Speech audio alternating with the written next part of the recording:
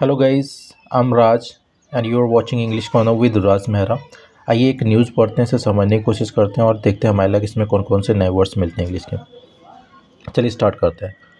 Was abuse by dad at age of eight ठीक है, जब तो ये लेडीज़ हैं, ये बोल रही हैं खुशबू आई वॉज़ एब्यूज मेरा शोषण किया गया, ठीक है? किसके द्वारा? बाई डैड पिता द्वारा।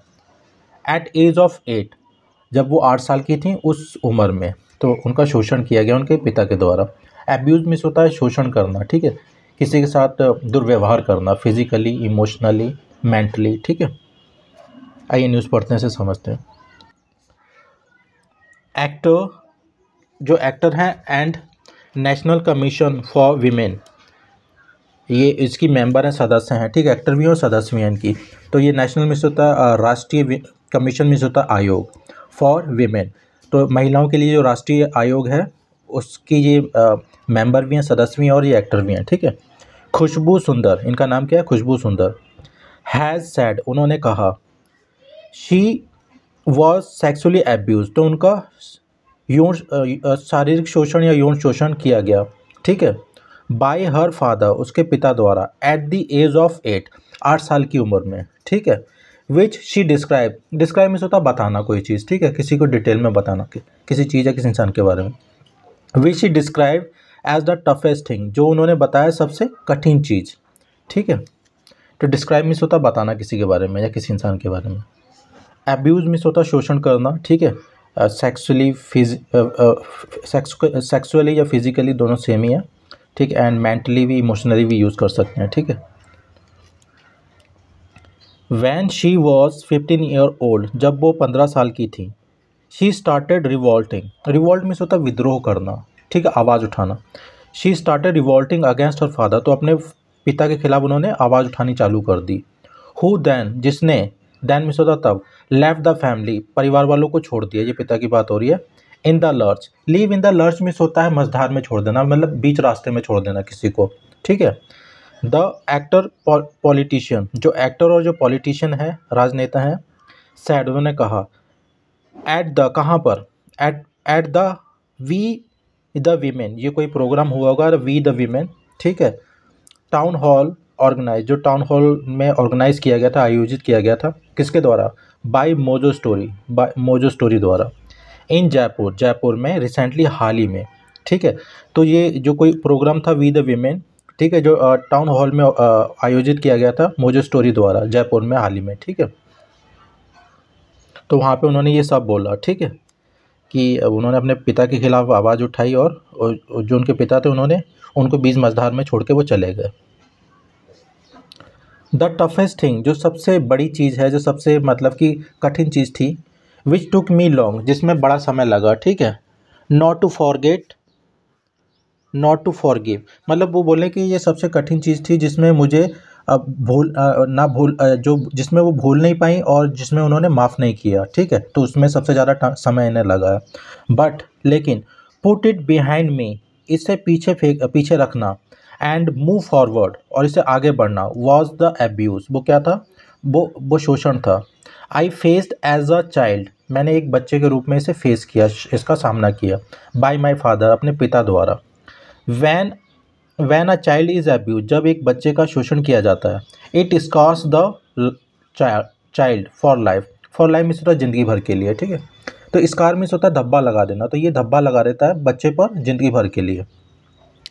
The fifty two year old BJP leader said जो, ये बावन साल की जो बीजेपी की लीडर है, नेता हैं, उन्होंने ये कहा, ठीक है?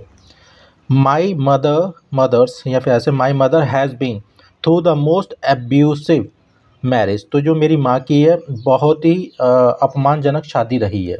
ठीक है? मैरिज लाइफ रही है। ओके तो मतलब इन चीज़ से गुजरी है। अपमानजनक शादी से गुजरी है वो। A man who beat up his wife एक आदमी जो अपनी वाइफ को पीटता है हिज चिल्ड्रन और अपने बच्चों को सेक्सुअली अब्यूज ठीक है? तो ये बोलने जो अपने बच्चों को पीटता है और अपनी वाइफ को पीटता है sexually abuse his only daughter अपनी इकलौती लड़की को शारीरिक शारीरिक यौन शोषण करता है। ही थॉट वह सोचता, वह सोचा it was his birth right वो उसके जन्म सिद्ध अधिकार है। बींग अ मैन एक आदमी होने के नाते बींग मिस होता है के नाते, ठीक है? It was it was his right to do so तो उसका वो अधिकार था ऐसा करना। And when my abuse started जब मेरा शोषण चालू किया गया I was just eight years old तब मैं सिर्फ़ आठ साल की थी। And I had a courage courage means होता साहस। मेरे में साहस था। टू स्पीक अगेंस्ट किसी uh, बोलने का खिलाफ किसी के बोलने का ठीक है? टू स्पीक अगेंस्ट हिम उनके खिलाफ बोलने का मेरे अंदर साहस था। At at the age of fifteen पंद्रह साल की जब मेरी एज थी तो मैंने मतलब आवाज़ उठाई मतलब उनके खिलाफ बोला ठीक है? सुंदर ऐड है जो सुंदर ने ऐड किया। एट फिफ्टीन पंद्रह की एज में, ठीक है, पंद्रह साल की एज में बता रही हैं। आई थॉट मैंने सोचा डैट की इट वॉज़ इनफ बहुत हो गया। And when I started revolt revolting जब मैंने विद्रोह करना चालू किया, ठीक है अगेंस्ट उनके खिलाफ तो अगेंस्ट मिस होता खिलाफ। And rebelling means rebel means भी होता है, किसी की बातें मान, बातें मानने से इनकार कर देना refuse to obey the rules ठीक है। तो इसका मतलब ये होता है, किसी की बातें मानने से इनकार कर देना। जब मैंने उनका विरोध किया और उनकी बातें मानने से मना कर दिया ही जस्ट लेफ़्ट अस उसने हमें छोड़ दिया। With whatever we had जो भी हमारे पास था, उसी के साथ में उसने हमें छोड़ दिया। Literally left us in the lurch literally में होता सचमुच। ठीक है, जब अपनी बात पे हम ज़ोर डालते हैं कि ये सचमुच ऐसी ही है तो वहाँ पे हम लिटरली यूज़ करते हैं। ठीक है? Literally left us in the lurch तो वो सच्ची में हमें बीच मझधार में फेंक गया बीच मझधार में छोड़ गया। ठीक है? वी डेंट नो हमें नहीं पता था। Where the next food is going to come ये अगला खाना है जो जो आगे का जो खाना है कहाँ से आने वाला है? फ्रॉम ठीक है? फ्रॉम कहाँ से आने वाला and he just left us बस उसने हमें छोड़ दिया। सुन, सुंदर रिकॉर्ड तो रिकॉल मिस होता है किसी पुरानी बात को याद करना ठीक है?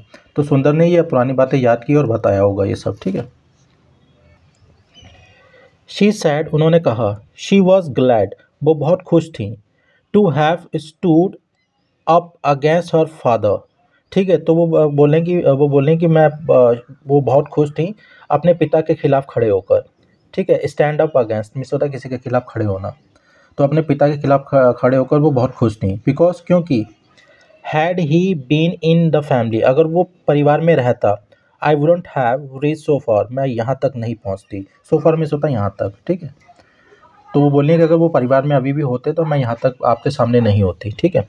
If I could fight the if I could fight the man at home अगर मैं आदमी से घर में लड़ सकती हूँ I could manage the world very easily तो जो मैं इस दुनिया को भी बहुत आसानी से चला सकती हूँ, ठीक मैनेज कर सकती हूँ कंट्रोल कर सकती हूँ।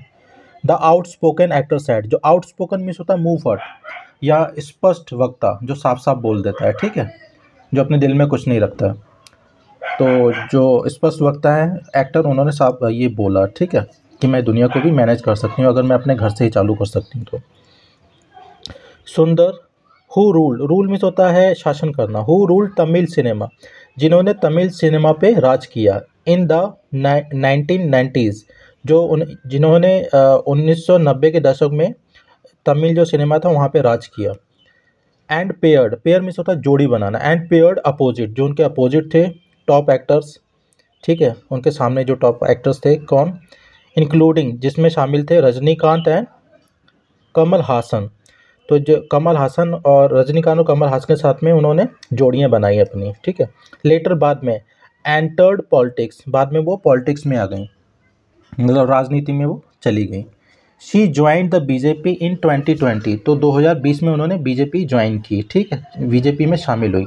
आफ्टर किसके बाद? आफ्टर क्विटिंग कांग्रेस कांग्रेस को छोड़ने के बाद। क्विट मिस होता है किसी चीज़ को या किसी इंसान को हमेशा के लिए छोड़ देना, ठीक है? मतलब त्याग देना। तो बीजे कांग्रेस को त्यागने के बाद उन्होंने 2020 में बीजेपी ज्वाइन कर ली।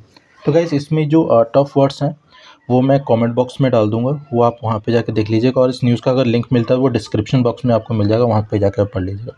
तो लिव इन लार्ज का मतलब इसका मतलब होता है बीच मझधार में किसी को छोड़ देना मतलब कि बीच रास्ते में किसी को छोड़ के चले जाना। Okay thanks for watching